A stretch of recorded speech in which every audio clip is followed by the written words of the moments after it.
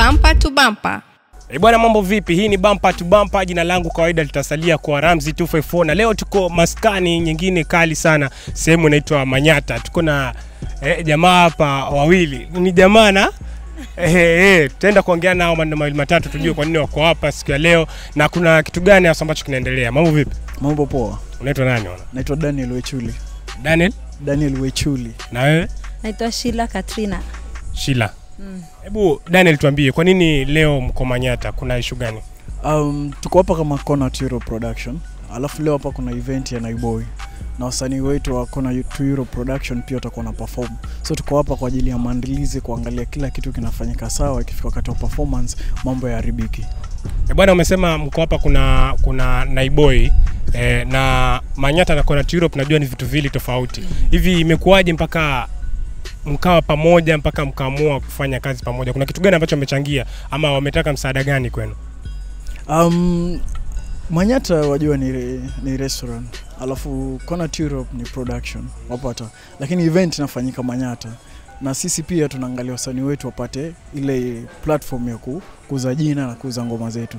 So sisi kama kama wahusika wa upande lazima tungefika tuangalie mipango iko vipi, ndio kwa sababu ikifika wakati wa performance, yani mambo yako sawa, unapata yeah.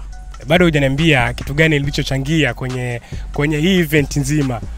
Nataka kujua kwa nini isiwe production nyingine iwe Kona Europe.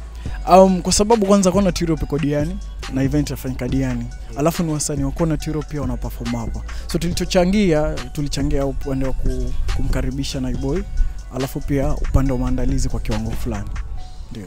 Bwana, maandalizi na usafiri ama mapokezi ya Naiboi pia Kona Europe imechangia hapa. Sitaki kumchokesha bwana kidogo, nataka niende upande wa pili hapa niulize madam, wewe Kona Europe unasimama kama nani?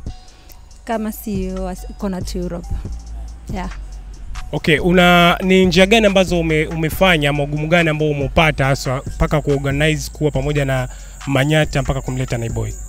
Naiboy tume nimepokea simu nikaitwa kama management ambaye inasaidia waimbaji hapa Ndiani na wakawa wanahitaji msaada wangu kama uh, waimbaji wangu wanaweza kuja katika events. So ndio nikawaambia ni sawa, hakuna shinda.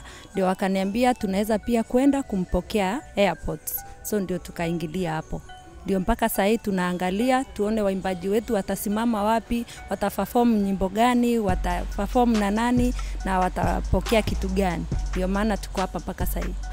Kwa hiyo Kona Europe hapo wasanii wa Kona Europe hawatalipa kitu chochote, si ndio?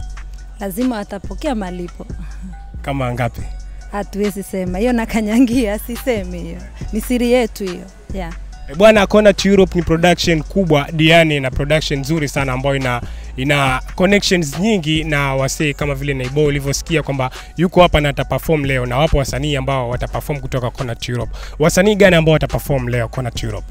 Um, kuna mafioso, mafioso ni Gucci na Ken, alafu kuna msanii anaitwa Niki wa kwanza, alafu kuna msanii anaitwa Watasha, hiyo ni group ya watu watatu, alafu kuna Hasco pia ndio.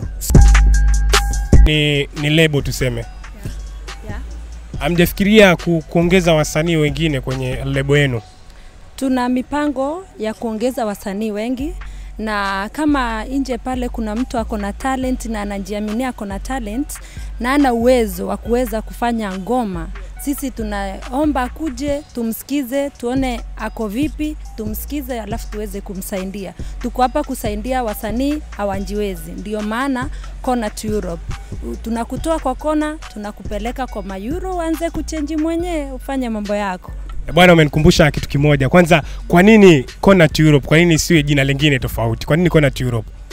Um, nilivyokueleza mwanzo um, Kona ni mahali msanii yuko, na kitu cha kwanza ni hatusaidii tu msanii yote, tunaangalia wale wasanii wako chini, hana uwezo, lakini ukiangalia kweli ana talanta, ana bidii na ana, anachapa kazi kweli. So Kona imekuja hapo kumtoa Kona pale ambapo wapo impeleke Europe, na Euro ni kumaanisha pesa ama success, unapata. So ndio maana kakuja nayo jina Kona to Europe, yani kama platform ya kusaidia yule msanii alivyo pale chini afikie ndoto zake, ndio.